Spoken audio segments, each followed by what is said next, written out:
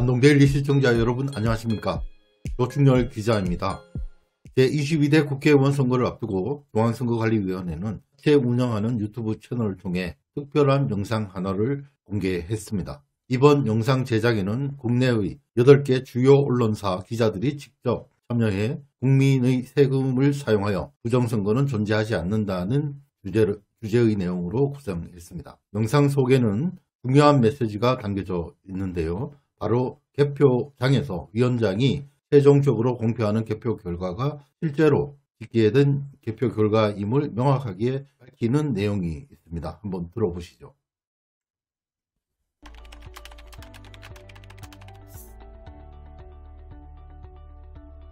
아닙니다.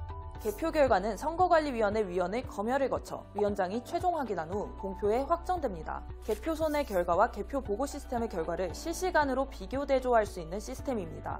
또 개표 참관인이 요청할 경우 개표 상황표 사본을 제공합니다. 또 개표소에서 위원장이 최종 공표한 개표 결과가 실제 개표 결과입니다. 따라서 만에 하나 개표 보고 시스템 입력 수치에 오류가 생기거나 조작이 발생하더라도 아무 효력이 없습니다. 지금까지 시청하신 동영상은 중앙선거관리위원회가 자체 운영하는 유튜브 채널에 올린 것입니다. 영상에서 조선비즈 박지영 기자는 개표소에서 위원장이 최종 공표한 개표 결과가 실제 개표 결과입니다. 라고 말합니다.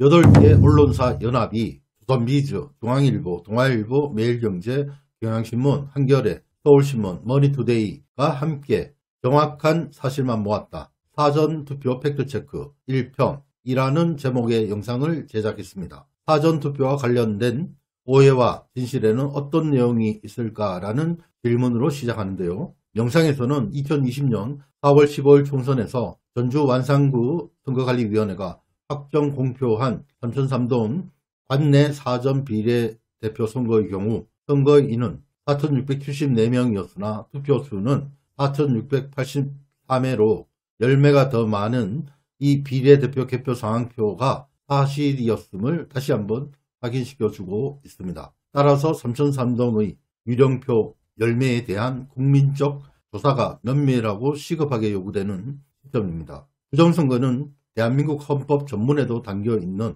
도저히 허용할 수 없는 소중한 가치이기 때문입니다. 한동데일리는 지난 3월 19일자 보도에서 중앙선거관리위원회가 2024년 3월 19일 홈페이지에 게재한 인터넷 질의응답을 통해 선거인수 4,674명보다 투표수가 4,684매로 10매가 더 많이 나온 삼천삼동 비례대표 개표 상황표를 완산구 선거관리위원회 전원이 정당별 득표수를 검증하고 개표 상황표를 날인한 후 위원장이 해당 개표 상황표에 따라 공표했으므로 이는 공식적으로 확정된 결과라고 밝혔습니다. 라고 보도한 바가 있습니다.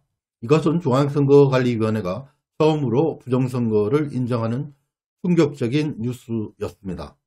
감사합니다. 지금까지 안동데일리 조충열 기자였습니다.